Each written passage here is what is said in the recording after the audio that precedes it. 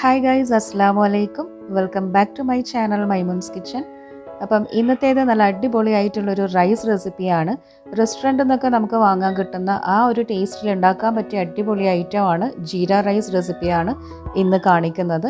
അപ്പോൾ നമുക്ക് പെട്ടെന്ന് തന്നെ വീഡിയോയിലേക്ക് പോവാം.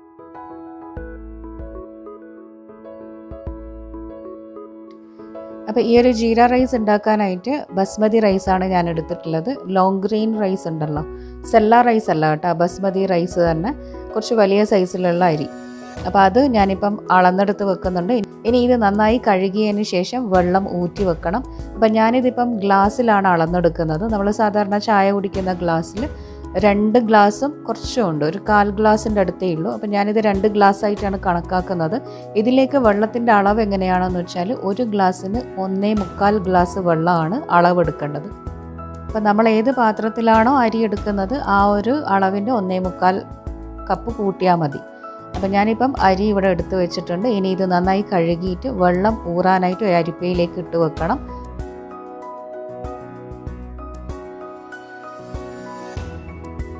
പിന്നെ അതേപോലെ തന്നെ അളന്ന് വെച്ചിട്ട് വെള്ളം ഞാൻ ചൂടാകാനായി വെച്ചിട്ടുണ്ട്.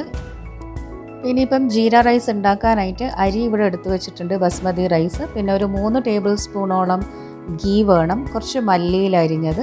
പിന്നെ ഈ ഒരു റൈസിന് വേണ്ടിയിട്ടുള്ളത് കുറച്ച് ജീരകം ഒരു ടേബിൾ സ്പൂണോളം ജീരകം രണ്ട് വറ്റൽമുളക് രണ്ട് മൂന്ന് ബേ ലീഫ് ആവശ്യത്തിനുള്ള ഉപ്പ് പിന്നെ സ്പൈസസ് ആയിട്ട് പട്ട ഗ്രാമ്പു ഏലക്ക. അത് രണ്ട് മൂന്ന് ഏലക്കായും രണ്ട് മൂന്ന് ഗ്രാമ്പും അതുപോലെ ഒരു ചെറിയ കഷ്ണം പട്ടയും ഞാൻ എടുത്തിട്ടുണ്ട്.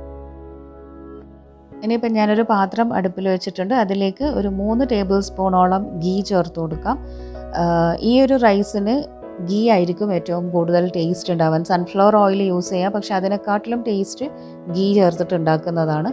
ഇനിയിപ്പം ഗീ നന്നായി ചൂടായി വന്നു കഴിഞ്ഞാൽ അതിലേക്ക് സ്പൈസസ് ചേർത്ത് കൊടുക്കാം. പട്ട ഗ്രാമ്പൂ ഏലക്ക ബേ ലീഫ് പിന്നെ വറ്റൽമുളക് ചേർത്ത് നന്നായി ഒന്നങ്ങ് മൂപ്പിച്ചെടുക്കാം.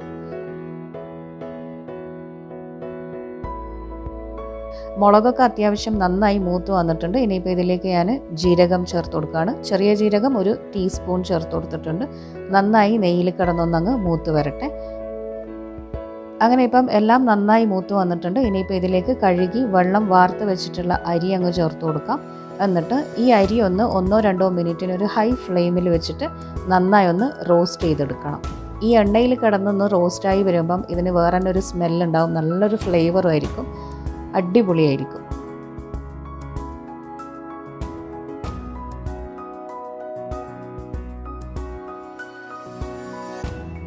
ഞാനിപ്പം ഫ്ലെയിം ഒരു മീഡിയം ഹൈ ആക്കിയിട്ടാണ് വെച്ചത്. ഇനിയിപ്പോൾ ഈ നെയ്യിൽ നന്നായിട്ടൊന്ന് ഈ അരി ഒന്ന് റോസ്റ്റ് ചെയ്തെടുക്കണം.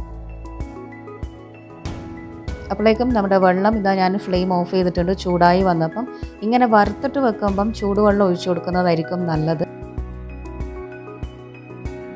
ഞാനിപ്പം അരി ഒന്ന് രണ്ട് മിനിറ്റ് ഒന്ന് നന്നായി റോസ്റ്റ് ചെയ്തതിന് ശേഷം ഇതിലേക്ക് അളന്ന് വെച്ചിട്ടുള്ള ചൂടാക്കിയ വെള്ളം അങ്ങ് ഒഴിച്ചു കൊടുത്തിട്ടുണ്ട്. എന്നിട്ട് എല്ലാം കൂടെ ഇട്ട് നന്നായി ഒന്നങ്ങ് മിക്സ് ആക്കിയെടുക്കാം അപ്പോൾ ഇങ്ങനെ നമ്മൾ അരി വറുത്തെടുക്കുമ്പം അതിലേക്ക് ചൂടുവെള്ളം തന്നെ ഒഴിച്ചു കൊടുക്കാൻ ശ്രദ്ധിക്കണം. അതാണ് നല്ലത്. ഇനിയിപ്പോൾ ആവശ്യത്തിനുള്ള ഉപ്പ് ചേർത്ത് കൊടുക്കാം. എന്നിട്ട് നന്നായി ഒന്ന് മിക്സ് ആക്കിയതിന് ശേഷം ഇതിനി ഒന്ന് അടച്ചു വെക്കാം.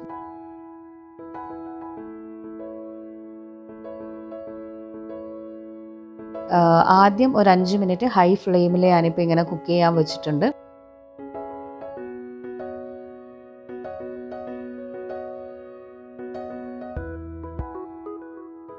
ഫസ്റ്റ് ഒരു അഞ്ച് മിനിറ്റ് കഴിഞ്ഞപ്പം ഞാനൊന്ന് മൂടി തുറന്നിട്ട് ജസ്റ്റ് ഒന്ന് ഇളക്കി കൊടുക്കുന്നുണ്ട്. വെള്ളം ആ ഒരു അരിന്റെ ലെവലായി വന്നിട്ടുണ്ട്. ഇനിയിപ്പോൾ എന്താ ചെയ്യേണ്ടതെന്ന് വെച്ചാൽ ഏറ്റവും ഫ്ലെയിം ലോ ആക്കി വെക്കുക. ഏറ്റവും സിമ്മാക്കി വെച്ചിട്ട് ഒരു പത്ത് മിനിറ്റ് ഇത് അടച്ച് വെച്ചിട്ട് കുക്ക് ചെയ്തെടുക്കാം. അപ്പോൾ ഇതിപ്പം പത്ത് മിനിറ്റ് കഴിഞ്ഞതിന് ശേഷമുള്ളതാണ്.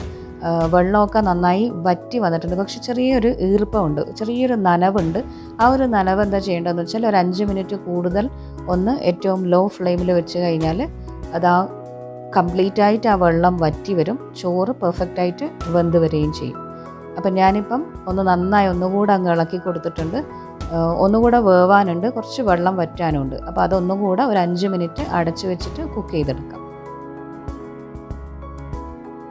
അങ്ങനെ ഇപ്പോൾ അഞ്ച് മിനിറ്റ് കഴിഞ്ഞു. നമ്മുടെ റൈസ് നന്നായി വെള്ളമൊക്കെ വറ്റി എന്താ പറയുക നന്നായി വെന്ത് വന്നിട്ടുണ്ട്. പിന്നെ നല്ല മണിമണിയായിട്ടുണ്ട്. അങ്ങനെ ഒട്ടിപ്പിടിച്ചിട്ടൊന്നുമില്ല. ഇനിയിപ്പോൾ ഇതിലേക്ക് കുറച്ച് മല്ലിയിൽ അരിഞ്ഞത് അങ്ങ് വിതറി കൊടുക്കാം എന്നിട്ട് ഞാനിപ്പം ഫ്ലെയിം ഓഫ് ചെയ്തിട്ടുണ്ട്. നമ്മുടെ ജീര റൈസ് റെഡിയായി.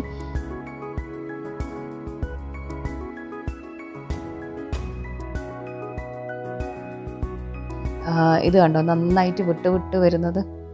അപ്പോൾ ഈ ഒരു റൈസിന് വെള്ളത്തിന്റെ അളവും അതുപോലെ കുക്കിംഗ് ടൈമും കറക്റ്റ് ആയാൽ അടിപൊളിയായിരിക്കും. നല്ല പെർഫെക്റ്റ് ആയിട്ടുള്ള ജീര റൈസ് റെസ്റ്റോറന്റ് സ്റ്റൈലിലുള്ളത് നമുക്ക് വീട്ടിൽ തന്നെ ഉണ്ടാക്കാം. ഇത് തുറക്കുമ്പോൾ തന്നെ നല്ല അടിപൊളി സ്മെല്ലാണ്. നമ്മൾ റെസ്റ്റോറന്റിൽ നിന്ന് കഴിക്കുന്ന ആ ഒരു കിട്ടുന്ന സ്റ്റൈലിലുള്ള ആ ഒരു മണവും ടേസ്റ്റും തന്നെയാണ്. അപ്പം ഞാനിപ്പം അതേ ടൈപ്പിൽ നമ്മുടെ ചെറിയ ജീരകശാല അരി ഉണ്ടല്ലോ ചെറിയ ബിരിയാണീന്റെ അരി ആ അരി വെച്ചിട്ട് ആ സെയിം ടൈപ്പിൽ തന്നെ ഉണ്ടാക്കിയതാണ്. പിന്നെ ജീര റൈസിന് ഏറ്റവും ടേസ്റ്റ് ബസ്മതി റൈസ് തന്നെയാണ്. പേഴ്സണലി എനിക്ക് ജീരകശാല അരിനെക്കാട്ടിലും ഇഷ്ടമായത് ബസ്മതി അരി കൊണ്ട് ഉണ്ടാക്കിയ ആ ഒരു ജീര റൈസ് തന്നെയാണ്. ആ ഒരു ഗീയും പിന്നെ ക്യൂമിൻ സീഡ്സ് ഒക്കെ വന്നപ്പോൾ ഉള്ള ആ ഒരു ടേസ്റ്റ് ഉണ്ടല്ലോ അത് അടിപൊളിയാണ് ബസ്മതി റൈസിൽ ഇന്ത്യ ഗേറ്റിന്റെയാണ് ഞാൻ വാങ്ങിയ അരി. അപ്പം എല്ലാവരും അപ്പം എല്ലാവരും ഇതേപോലെ തന്നെ ഒന്ന് ഉണ്ടാക്കി നോക്ക്. പിന്നെ ഈ ഒരു ചെറിയ ബിരിയാണി അരി കൊണ്ട് ഞാനൊന്ന് ഉണ്ടാക്കി നോക്കിയെന്നേ ഉള്ളൂ ടേസ്റ്റ് വൈസ് എങ്ങനെ ഉണ്ടാവും എന്ന് അറിയാൻ വേണ്ടിയിട്ട്. പിന്നെ നമ്മൾ മൊത്തത്തിൽ എപ്പോഴും അതാണല്ലോ യൂസ് ചെയ്യാൻ അതുകൊണ്ടാണ്. പക്ഷെ ടേസ്റ്റ് ഏറ്റവും അടിപൊളിയായത് ബസ്മതി റൈസ് കൊണ്ട് ഉണ്ടാക്കിയതാ. അപ്പോൾ എല്ലാവരും വീട്ടിൽ ഉണ്ടാക്കി നോക്ക് എന്നിട്ട് എന്നോട് അഭിപ്രായം പറയണം. ഇതിന്റെ കൂടെ ഒരു ഡാൽ ഫ്രൈ ഉണ്ടാക്കിയിട്ടുണ്ട് അത് നാളത്തെ വീഡിയോയിൽ കാണാം. അപ്പോൾ അതുവരെ ടാറ്റ ബൈ ബൈ. താങ്ക്